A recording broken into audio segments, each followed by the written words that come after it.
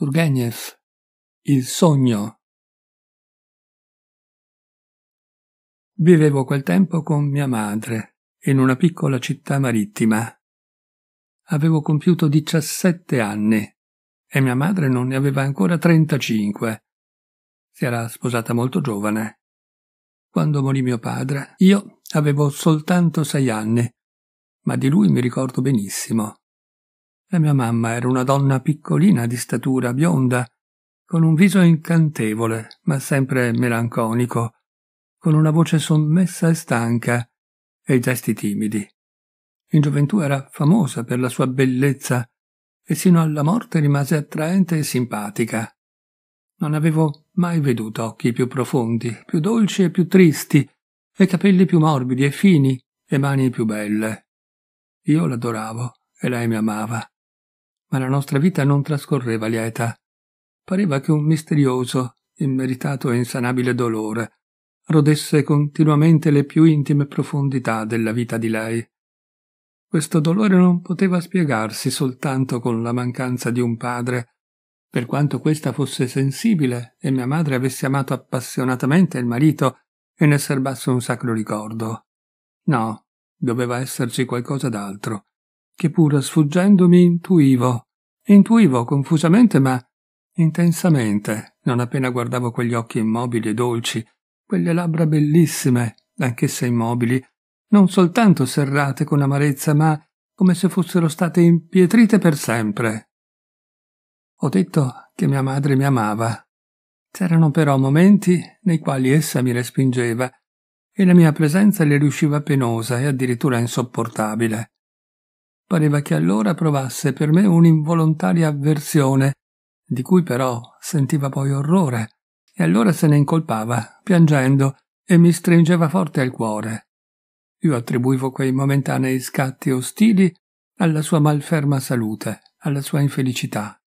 È vero che questi sentimenti avrebbero potuto sino a un certo punto essere provocati da non so quali strani e anche per me incomprensibili miei scatti di malevolenza e anche delittuosi che a tratti sorgevano in me. Però questi miei scatti non concordavano coi momenti di avversione di mia madre. Mia madre vestiva sempre di nero, come se fosse in lutto. Conducevamo una vita abbastanza agiata, senza però frequentare nessuno. Mia madre aveva concentrato su di me tutti i suoi pensieri e le sue preoccupazioni. La sua vita era intimamente fusa con la mia un tal genere di rapporti tra genitori e figli non giova sempre a questi ultimi, anzi, sono piuttosto dannosi. Io ero figlio unico e i figli unici di solito hanno uno sviluppo mentale diverso da quello degli altri ragazzi. I genitori, educandoli, si preoccupano di loro quanto di se stessi. E questo non va. Io non sono cresciuto viziato né cattivo, cose che accadono ai figli unici, ma i miei nervi in quel periodo si sono guastati. Inoltre la mia salute era piuttosto cagionevole, come quella della mamma, alla quale rassomigliavo molto anche nei tratti del volto. Sfuggivo la compagnia dei miei coetanei, schivavo in genere la gente ed ero persino taciturno con mia madre.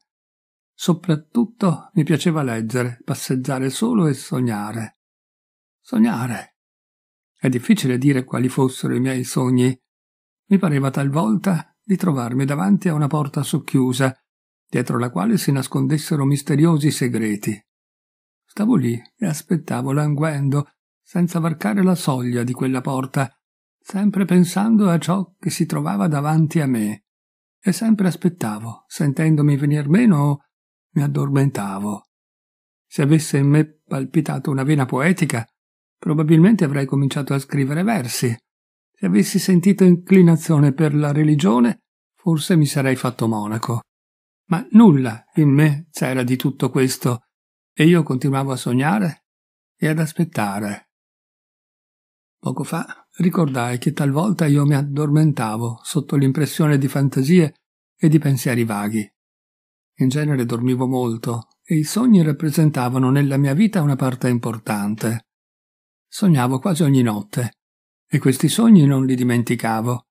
Davo loro un significato, li consideravo predizioni, cercavo di indovinare il loro misterioso significato.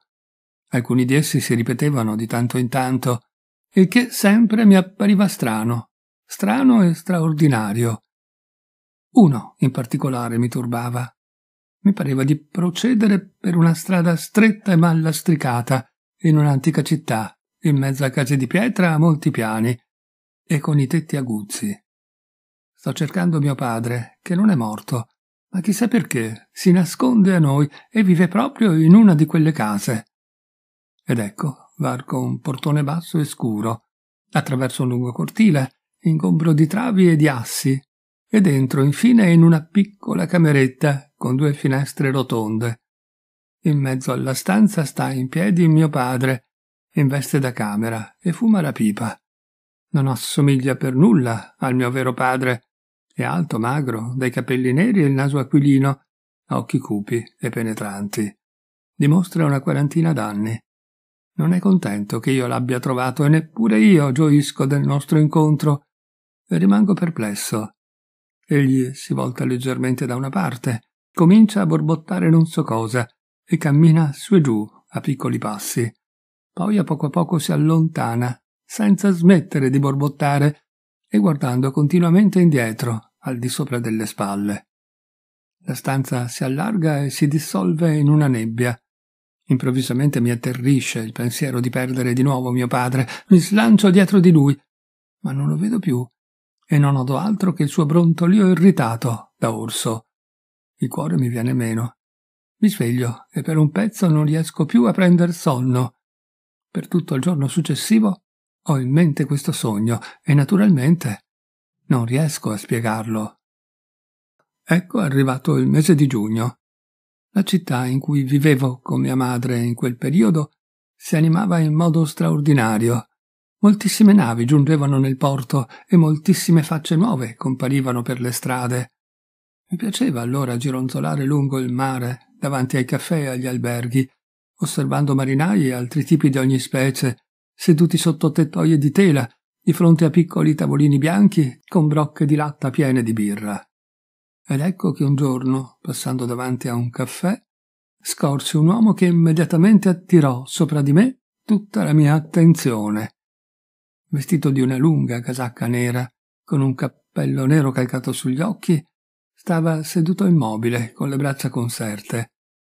Rade ciocche di capelli neri gli cadevano sin quasi sul naso, le labbra sottili serravano il bocchino di una corta pipa. Quell'uomo mi parve talmente conosciuto. Ogni lineamento del suo scuro viso giallastro, tutta la sua figura era a tal punto impressa nel mio ricordo che non potei fare a meno di fermarmi davanti e non potei non farmi questa domanda. Chi è quell'uomo? Dove l'ho visto? Quelli, sentendo probabilmente la fissità del mio sguardo, alzò su di me i suoi occhi neri, pungenti. Senza volerlo fece un'esclamazione di meraviglia. Quell'uomo era quel padre che io cercavo e che avevo veduto in sogno. Non era possibile che mi sbagliassi. La somiglianza era troppo evidente. Sì, sì, persino quel casaccone a larghe falde che copriva il magro corpo di lui ricordava per il colore e per la foggia quella veste da camera in cui mi era apparso mio padre.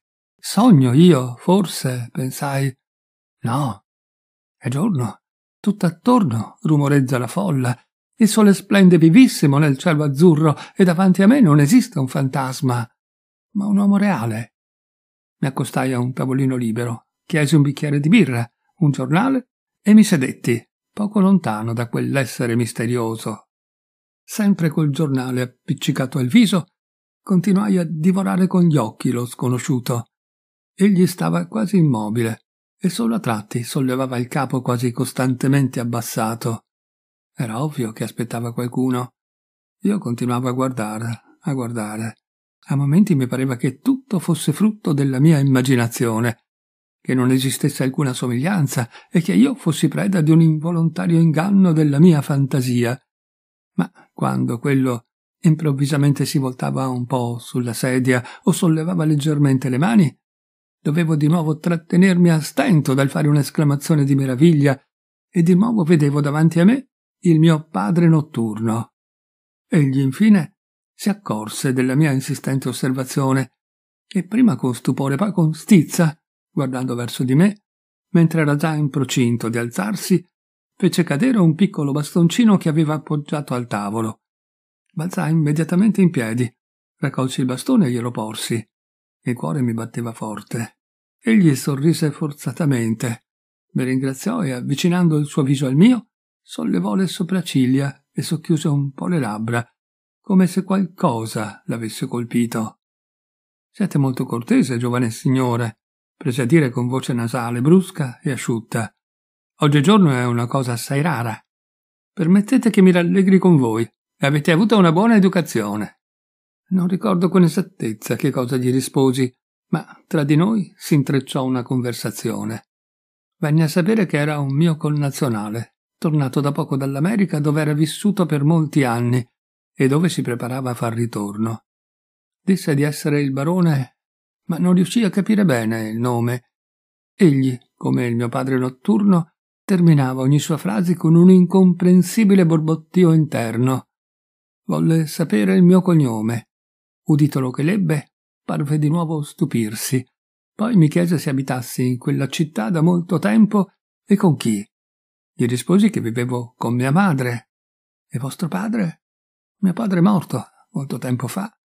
Egli volle sapere il nome di battesimo di mia madre e subito scoppiò in una goffa risata, di cui si scusò dicendo che questa era un'abitudine americana e che del resto egli era un grande originale. Quindi volle sapere dove si trovasse il nostro appartamento Glielo dissi. L'agitazione che si era impadronita di me all'inizio della nostra conversazione a poco a poco si calmò. Considerai la nostra conoscenza un po' strana e nient'altro. Non mi piaceva il sorrisetto col quale mi interrogava il signor barone e non mi piaceva neppure l'espressione dei suoi occhi quando pareva conficcarli in me. In essi c'era qualcosa di feroce e di protettivo insieme, qualcosa che mi metteva paura. Quegli occhi in sogno non li avevo veduti. Che viso strano aveva il barone. Appassito, stanco, e nello stesso tempo giovanile, ma giovanile in modo antipatico. Il mio padre notturno non aveva neppure quella profonda cicatrice che attraversava di sbieco tutta la fronte del mio nuovo conoscente e che non avevo notato sino a quando non mi ero maggiormente avvicinato a lui. Avevo appena comunicato il nome della strada e il numero della casa in cui abitavamo che un negro di alta statura, avvolto sino alle sopracciglia in un mantello, si avvicinò a lui da dietro e gli batté leggermente su una spalla. Il barone si voltò e disse Ah, finalmente! E dopo avermi fatto un lieve cenno del capo, si diresse col negro verso l'interno del caffè. Rimasi sotto la tettoia per osservare l'uscita del barone, non tanto per riprendere la mia conversazione con lui. Non sapevo veramente di che cosa avrei potuto parlare, quanto per verificare di nuovo la mia primitiva impressione. Ma passò mezz'ora, passò un'ora. Il barone non compariva. Entrai nel caffè, percorsi tutti i locali, ma non trovai tracce né del barone né del negro. Entrambi si erano forse allontanati per la porta posteriore.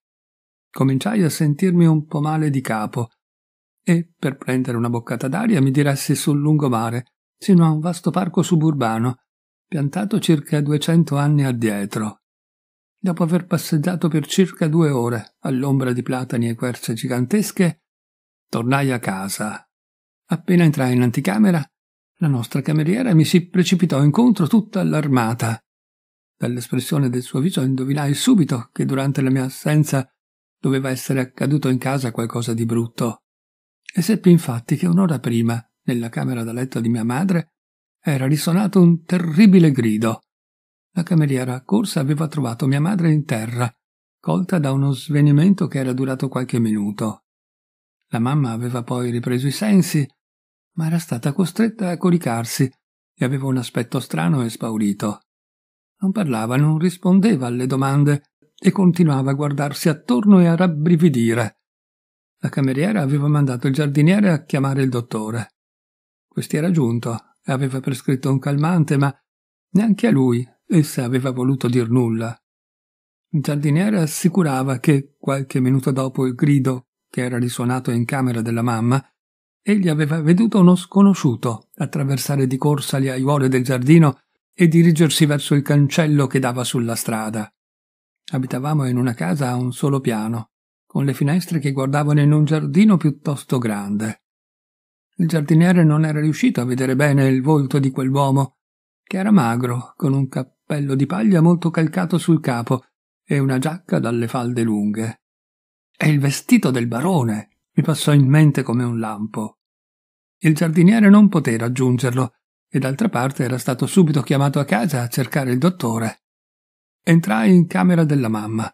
Era a letto, più pallida del guanciale sul quale posava il capo. Riconosciutomi, mi sorrise debolmente e mi tese la mano. Mi sedetti accanto a lei e cominciai a farle delle domande.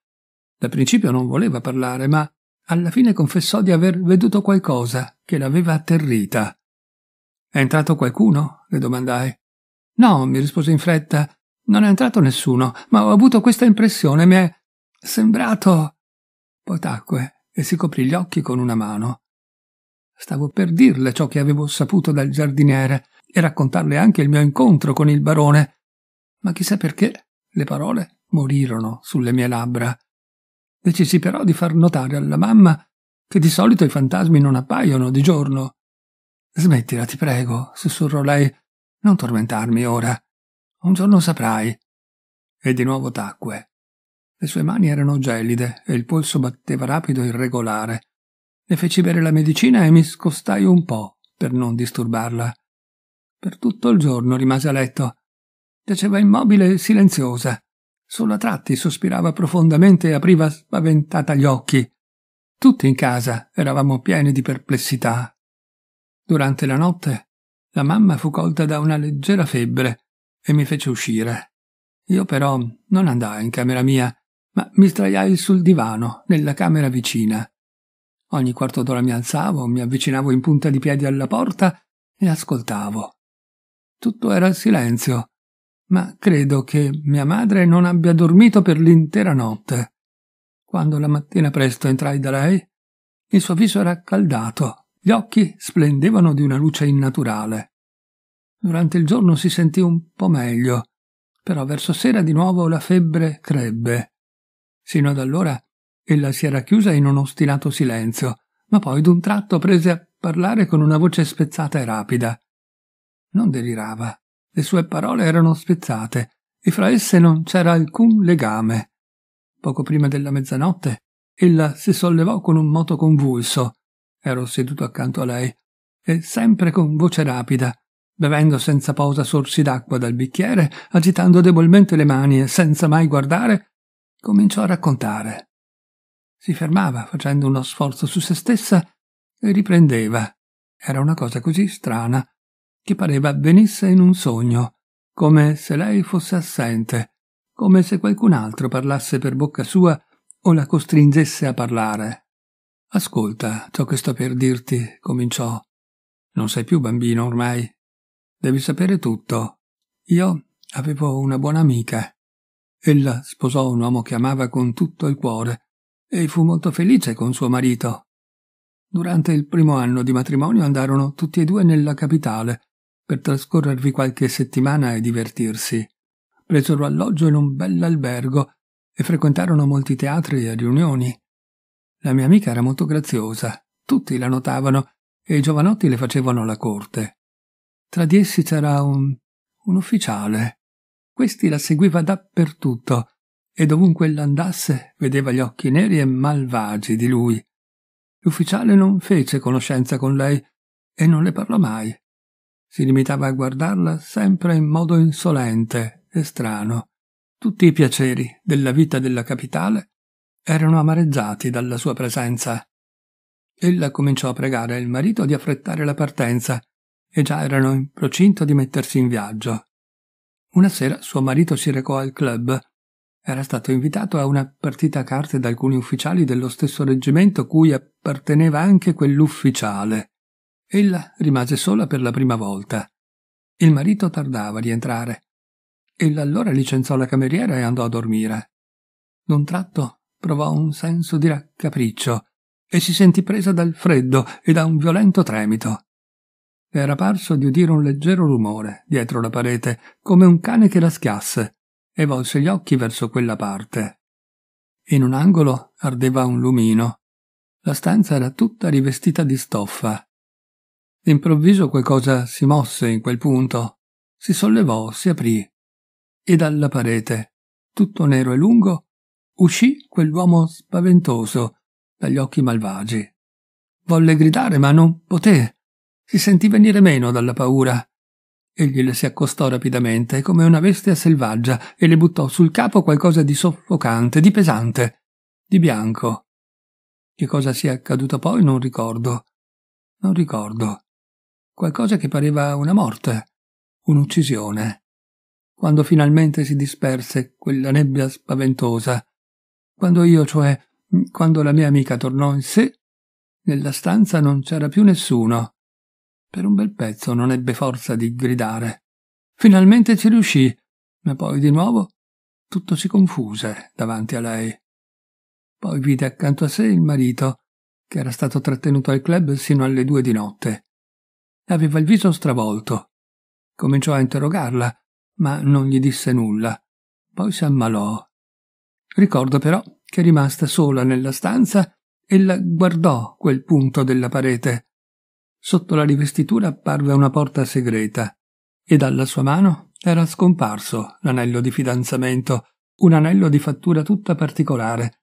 Sette stelline d'oro si alternavano a sette stelline d'argento. Era un vecchio gioiello di famiglia. Il marito le chiese che cosa fosse accaduto dell'anello ed ella non poté rispondere nulla. Egli pensò che l'avesse perso, lo cercò ovunque, ma non riuscì a trovarlo da nessuna parte. Fu assalito da un senso di angoscia e decise di tornare al più presto a casa, e non appena il dottore lo consentì, essi abbandonarono la capitale. Ma figurati. Il giorno stesso della loro partenza si imbatterono per strada in una barella, in cui giaceva un uomo ucciso con la fronte spaccata e Figurati.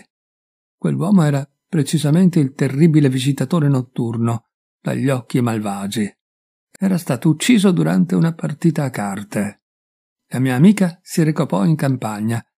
Divenne madre per la prima volta. Visse alcuni anni col marito. Egli non seppe mai nulla. Ma che cosa ella avrebbe potuto dirgli? Lei stessa non lo sapeva. Però la felicità di prima scomparve. Nella loro vita si fece il buio, ed essi non riuscirono più a dissiparlo. Loro due non avevano avuto figli e non ne ebbero dopo. E quel figlio. La mamma, tutta scossa da un tremito, si coprì col viso le mani. Dimmi ora, proseguì con forza raddoppiata. La mia amica è forse colpevole? Poteva rimproverarsi qualche cosa? Ella era stata punita, ma non era forse in diritto di dichiarare davanti a Dio che il castigo che l'aveva colpita era ingiusto. E allora perché a lei, come a una delinquente straziata da rimorsi di coscienza, perché il passato doveva affacciarsi dopo tanti anni in modo così terribile?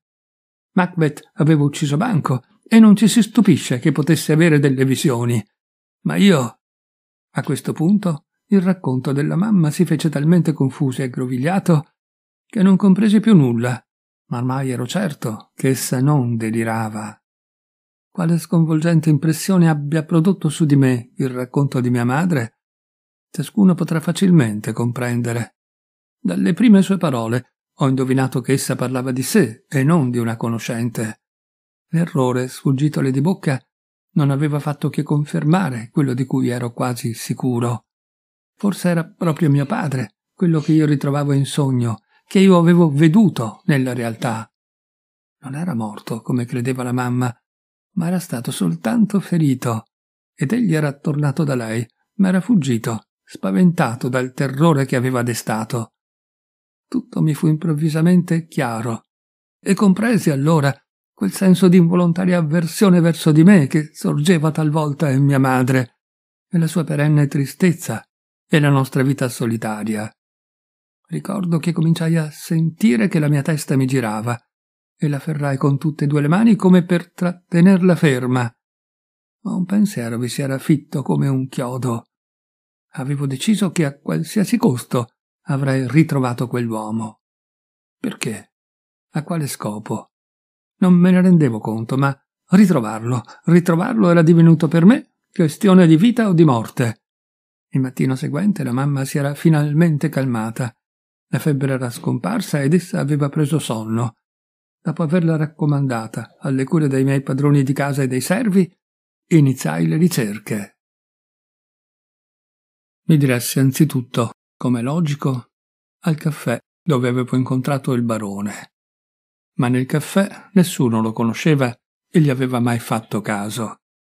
Era un avventore casuale. Il negro, invece, era stato notato dal proprietario.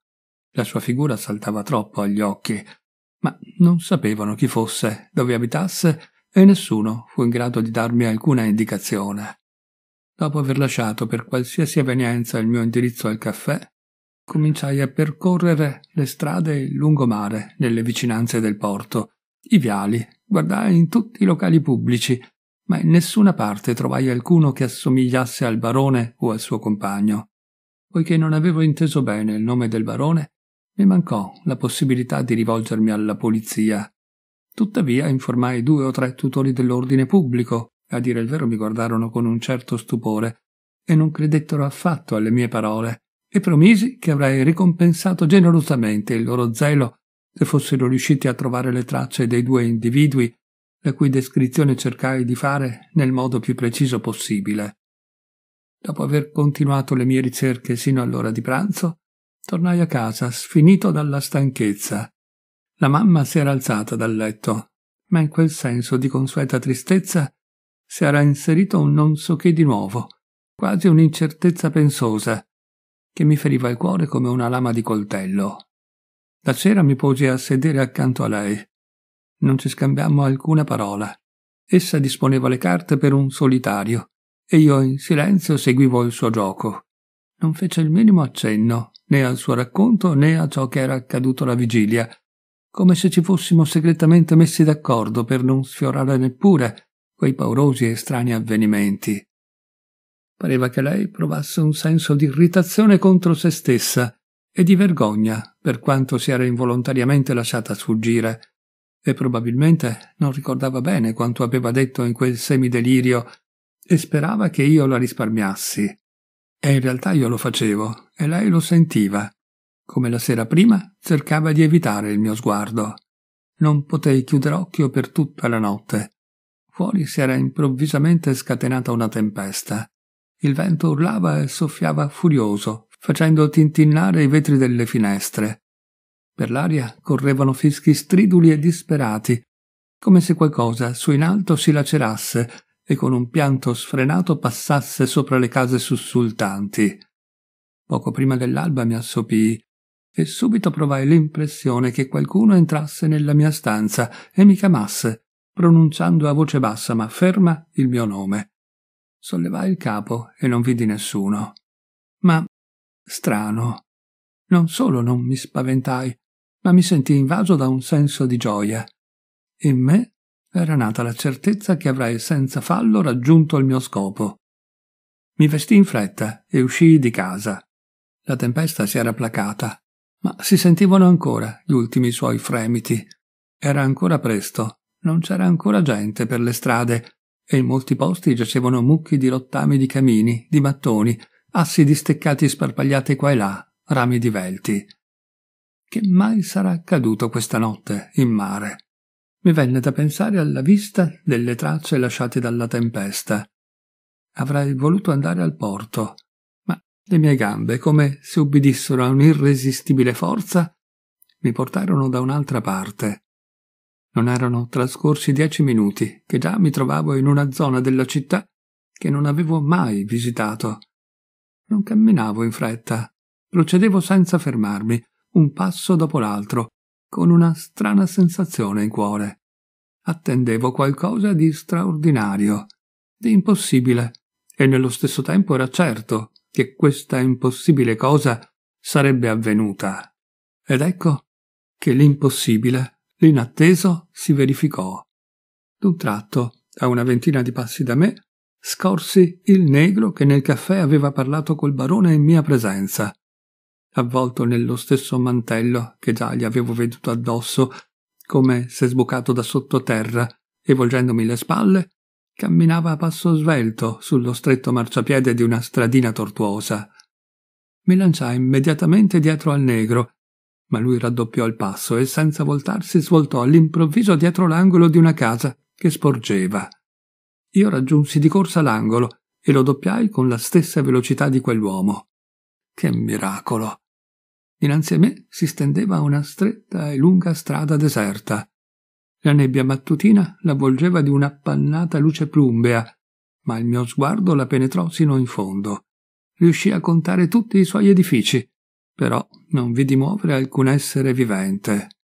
L'alta sagoma del negro, avvolto nel mantello, era svanita con la stessa maniera repentina con cui era apparsa. Rimasi sbalordito, ma solo per un momento. Un'altra sensazione si impadronì di colpo di me, quella strada deserta, lunga, muta e come morta, che si stendeva dinanzi ai miei occhi. Io la conoscevo. Era la strada del mio sogno. Preso da un sussulto mi stringo nelle spalle. Il mattino è così fresco e subito, senza la minima esitazione, con lo sgomento della certezza, vado avanti. Comincio a cercare con lo sguardo. Ed ecco, ecco, a destra, all'angolo del marciapiede, Ecco la casa del mio sogno. Ecco il vecchio portone con gli svolazzi di pietra ai due lati. Ma le finestre della casa non sono tonde, bensì quadrangolari. Questo però non ha importanza. Busso al portone, busso due volte, tre volte, più forte, sempre più forte. Il portone si apre lentamente con un pesante scricchiolio, come se sbadigliasse. Davanti a me stava una giovane domestica scarmigliata e con gli occhi pieni di sonno. Si capiva che doveva essersi svegliata proprio allora. Abita qui il barone? le domando, mentre con una rapida occhiata percorro il profondo e angusto cortile. Così, tutto così, anche le travi e le assi che vedevo nei miei sogni. No, mi risponde la domestica, il barone non abita qui. Come no? È impossibile. Ora non c'è, è partito ieri. Dove è andato? In America. In America ripetei volontariamente. E tornerà? La cameriera mi diede un'occhiata sospettosa. Questo non lo sappiamo. Può darsi che non torni. Ed è molto tempo che abitava qui? Non molto, da una settimana. Ora non c'è più. E qual è il cognome del barone? La domestica mi fissò. Non conoscete il suo cognome? Noi lo chiamavamo semplicemente barone. Ehi, Piotr, gridò la giovane vedendo che io cercavo di andare avanti. Vieni un po' qui. C'è qui un tale che mi fa una quantità di domande. Dall'interno della casa comparve la goffa figura di un robusto operaio. Chi c'è? Che volete? domandò con voce rauca, e dopo avermi ascoltato con aria truce, ripeté ciò che aveva detto la domestica. E chi abita qui allora? dissi io. Il nostro padrone. Chi è il vostro padrone? Un falegname. In questa strada sono tutti i falegnami. Si può vederlo? Impossibile. Ora sta dormendo. E si può entrare in casa? Non si può. Andatevene. Beh, e più tardi si potrà vedere il vostro padrone? Perché no? Si potrà. Si può sempre. È un commerciante. Ma ora andatevene. Non vedete com'è presto? Beh, e quel negro? domandai all'improvviso. L'operaio guardò con imbarazzo prima me, poi la domestica. Quale negro? disse infine. Andate, signore. Potete tornare più tardi. Parlerete col padrone. Tornai in strada. Il portone sbatté alle mie spalle con un colpo brusco e pesante. Questa volta senza scricchiolio. Osservai attentamente la strada e la casa e me ne andai. Ma non mi diressi a casa. Provavo qualcosa di simile alla delusione. Tutto ciò che mi accadeva era tanto strano e straordinario. Eppure sembrava che stesse per finire in maniera così stupida. Ero certo, convintissimo che avrei veduto in quella casa la stanza che ben conoscevo, e nel mezzo di essa mio padre, il barone, in veste da camera con la pipa in bocca. E invece di questo, un falegname, il padrone di casa che si poteva andare a trovare a piacere e magari ordinargli dei mobili. E mio padre era andato in America. Che cosa mi restava ora da fare? Raccontare tutto a mia madre oppure seppellire per sempre il ricordo di quell'incontro. Non ero decisamente in grado di rassegnarmi al pensiero che a un inizio che aveva tanto del soprannaturale e del misterioso potesse seguire un finale così insensato e comune. Non ebbi voglia di ritornare a casa e mi tirassi fuori città, dove mi portarono le gambe. Camminavo a testa bassa, senza pensieri, quasi senza sensazioni, ma tutto sprofondato in me stesso. Un rumore ritmico, sordo e stizzoso mi trasse dal mio torpore. Sollevai il capo. Era il mare che a cinquanta passi da me rumoreggiava. Mi accorsi di camminare sulla sabbia delle dune. Agitato per la tempesta della notte, il mare biancheggiava di spuma sino all'orizzonte e violente ondate arrotolavano a turno infrangendosi rabbiosamente contro la riva piatta. Mi avvicinai e camminai lungo il tracciato lasciato dal flusso e riflusso delle onde sulla sabbia striata di giallo, cosparsa di brandelli di vischiose erbe marine, di frantumi di gusci di gambero e dei nastri sinuosi delle alghe. I gabbiani dalle ali aguzze, giungendo a volo sul vento, con stridule grida dalle lontananze aeree, si sollevavano bianchi come la neve nel grigio cielo nuvoloso, ricadevano a piombo e, come saltando da un'onda all'altra, risalivano e ricadevano, simili a spruzzi d'argento tra le fasce spumeggianti. Osservai che taluni di essi, tenacemente sospesi su un grande scoglio, si azzevano solitari in mezzo all'uniforme distesa delle rive sabbiose. Una ruvida erba marina cresceva a ciuffi irregolari su un lato dello scoglio, e là, dove gli steli aggrovigliati spuntavano dal giallastro terreno salifero, nereggiava un non so che di lungo, non molto grande. Osservai attento. Laggiù giaceva un oggetto scuro. Giaceva immobile accanto allo scoglio. Quell'oggetto si faceva più distinto, sempre più distinto, a mano a mano che andavo avvicinandomi. Non ero distante dallo scoglio più di trenta passi. Ma quello era un corpo umano. Era un cadavere, affogato e sbattuto là dal mare. Mi avvicinai di più. Era il cadavere del barone. Di mio padre. Mi fermai impietrito. Soltanto allora mi accorsi che sin dal mattino urgevano entro di me oscure forze, che io ero in loro potere, e per alcuni minuti nulla rimase nel mio animo all'infuori dell'incessante sciabordio del mare e di un muto sgomento dinanzi al destino che mi dominava. Egli giaceva sul dorso, leggermente riverso da un lato, con la mano sinistra dietro il capo. La destra era nascosta dal capo ripiegato. Una melma vischiosa lambiva la punta dei piedi calzati da alti stivali da marinaio. La corta giacca azzurra, tutta intrisa di sale marino, non si era sbottonata. Una sciarpa rossa strettamente annodata gli avvolgeva il collo. Il viso bruno, rivolto al cielo, pareva sogghignare. Di sotto il labbro superiore contratto si intravedevano i denti fitti e piccoli.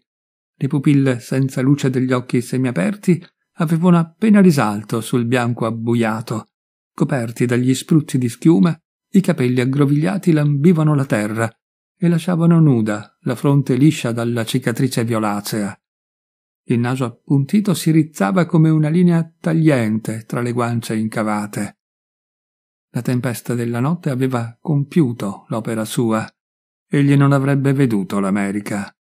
L'uomo che aveva offeso mia madre, che ne aveva distrutta la vita, l'uomo che era mio padre, sì, mio padre, e di questo non potevo avere dubbi, giaceva disteso nella melma ai miei piedi, senza vita.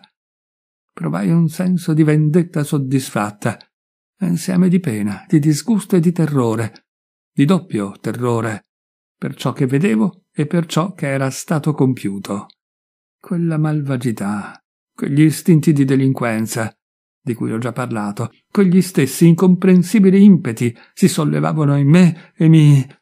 mi soffocavano. Ah, pensavo, ecco, perché io sono così, ecco, è il sangue che parla.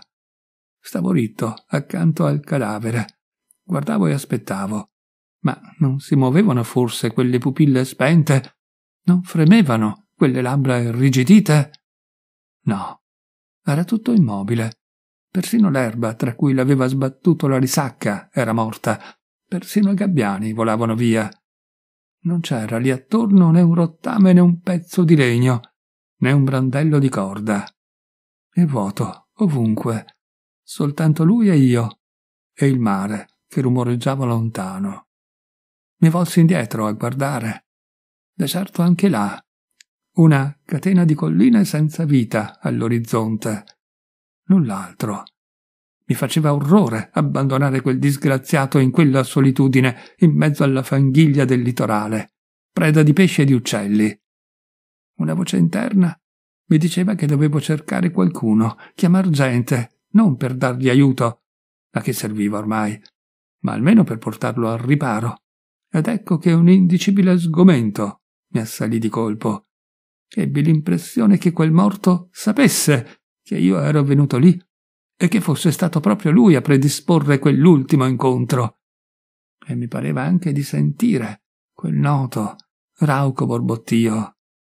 Correndo mi allontanai e mi volsi ancora a guardare una volta. Qualcosa di scintillante mi colpì gli occhi e mi fermò. Era un cerchietto d'oro nella mano rattrappita del cadavere. Riconobbi l'anello di fidanzamento di mia madre. Rammento che mi imposi di tornare indietro, di avvicinarmi, di chinarmi. Ricordo il contatto vischioso delle dita gelide. Ricordo come ansimai, come chiusi gli occhi, come strinsi i denti, mentre strappavo l'anello che non volevo uscire dal dito. Finalmente ci riuscii e presi a correre, a correre a perdifiato, mentre mi pareva che qualcosa mi inseguisse e mi raggiungesse e mi afferrasse. Tutto ciò che avevo provato e sentito doveva essere scritto sul mio volto allorché tornai a casa. La mamma, appena entrai in camera sua, si raddrizzò di colpo e mi guardò, con occhi così insistentemente interrogativi che io, dopo aver tentato inutilmente di spiegarmi, finii col tenderle in silenzio l'anello. Essa si fece paurosamente pallida. Gli occhi le si spalancarono in modo straordinario e persero ogni luce di vita come quelli di lui. Diede un grido, afferrò l'anello, barcollò e mi cadde sul petto e parve venir meno, rovesciando indietro il capo e divorandomi con quegli occhi sbarrati da pazza. Io la strinsi alla vita con tutte e due le braccia e senza muovermi, senza cambiar posto e senza fretta, le raccontai a voce sommessa tutto, senza nascondere il minimo particolare il mio sogno, l'incontro e tutto il resto. Ella mi ascoltò sino in fondo e non disse mai una parola. Soltanto il suo respiro si faceva sempre più ansimante. D'un tratto i suoi occhi si ravvivarono e si abbassarono. Infilò l'anello nell'anulare e, scostatasi un po', prese la mantiglia e il cappello. Le chiesi dove volesse andare. Ella mi rivolse uno sguardo attonito e tentò di rispondermi, ma la voce le fallì fu percorsa da alcuni brividi, si fregò le mani come se volesse riscaldarsi e infine disse Andiamo subito là. Dove, mamma? Dove giace lui. Voglio vedere. Voglio sapere. Io so. Io so. Tentai di persuaderla a non andarci, ma poco mancò che le prendesse un attacco nervoso. Compresi che era impossibile opporsi al suo desiderio e ci incamminammo ed ecco che di nuovo mi trovo a camminare lungo il litorale, ma questa volta non più solo. Tengo la mamma sotto braccio. Il mare si è ritirato, è andato ancora più lontano. Si è calmato, ma la sua debole voce è sempre minacciosa e malvagia. Ecco finalmente apparire davanti a noi lo scoglio solitario e l'erba marina. Mi guardo attorno cerco di distinguere l'oggetto tondeggiante che giaceva per terra, ma non scorgo nulla. Ci facciamo più vicini. Involontariamente rallento il passo. Ma dov'è quella cosa immobile e nera? Soltanto gli steli delle erbe nereggiano sulla sabbia ormai asciutta. Siamo presso lo scoglio.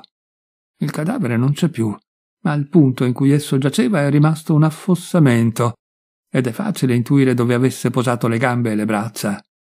L'erba all'ingiro pare calpestata e si notano le tracce di un piede umano. Le tracce si susseguono sulla sabbia e si perdono dopo aver raggiunto il terreno sassoso. La mamma ed io ci guardiamo, spaventati da quanto leggiamo sui nostri visi. Possibile che si fosse alzato da solo e allontanato. Sei sicuro di averlo veduto morto? mi domandò la mamma. Non potei fare altro che annuire col capo. Non erano ancora trascorse tre ore da quando mi ero chinato sul cadavere del barone. Qualcuno l'aveva trovato e portato via. Bisognava andare alla ricerca di chi avesse fatto ciò e sapere che cosa fosse accaduto. Ma era prima necessario che mi occupassi della mamma. Mentre stavamo procedendo verso il posto fatale, la febbre l'aveva assalita, ma ella era ancora padrona di sé. La scomparsa del cadavere la colpì come la definitiva sventura. Era come impietrita. Temetti per la sua ragione. A gran fatica la ricondussi a casa. Le feci di nuovo mettere a letto. Chiamai ancora il dottore, ma appena la mamma si fu ripresa un po', pretese che io andassi immediatamente a cercare quell'uomo. Ubbidii, ma nonostante io tentassi addirittura l'impossibile, non scoprii nulla. Mi recai parecchie volte alla polizia, visitai tutti i villaggi vicini, feci pubblicare avvisi sui giornali, cercai informazioni da ogni parte. Ma tutto fu inutile. In verità mi giunse la notizia che in uno dei villaggetti litoranei era stato portato un annegato. Mi ci precipitai ma era già stato seppellito e i suoi connotati non corrispondevano affatto a quelli del barone. Venni a sapere su quale nave si era imbarcato per l'America. Sulle prime tutti furono convinti che il piroscafo fosse andato perduto durante la tempesta, ma qualche mese dopo cominciò a correre voce che la nave era stata veduta all'ancora nel porto di New York. Non sapendo che decisione prendere, risolsi di mettermi alla ricerca del mio negro gli offerse attraverso i giornali una notevole somma di denaro se si fosse presentato a casa nostra. E un negro, alto, avvolto in un mantello, venne realmente da noi in mia assenza. Ma dopo aver rivolto una quantità di domande alla domestica, si allontanò di colpo e non si fece più vedere. Così perdette ogni traccia di mio padre. E così egli scomparve per sempre nel silenzio delle tenebre. La mamma e io non parlavamo mai di lui. Una volta soltanto, rammento, ella si meravigliò che io non le avessi mai accennato prima del mio strano sogno e aggiunse Vuol dire allora che lui e non completò il suo pensiero. La mamma fu per lungo tempo malata, ma anche dopo la guarigione i nostri rapporti non ritornarono quelli di una volta, e davanti a me rimase a disagio sempre, sino alla morte. Sì, veramente a disagio. E a questo dolore non fu possibile trovare rimedio. Via via che si attenuano, i ricordi dei più tragici avvenimenti familiari perdono a poco a poco la loro forza scottante. Ma se un senso di imbarazzo si stabilisce tra due intimi parenti, non è più possibile che si riesca a cancellarlo. Non mi apparve mai più il sogno che mi aveva così angosciato. Non cercai più mio padre talvolta mi è parso e mi pare ancora di sentire in sogno delle grida lontane, dei lamenti incessanti e dolorosi. Li odo ancora qua e là, dietro una parete attraverso la quale non è possibile passare. Mi schiantano il cuore e io piango a occhi chiusi e non sono in grado di capire che cosa sia. È una creatura viva che geme o ciò che sento è l'urlo prolungato e selvaggio del mare in tempesta. Ma ecco che tutto si trasforma di nuovo in quell'animalesco borbottio, e io mi riaddormento, con l'anima colma di angoscia e di terrore.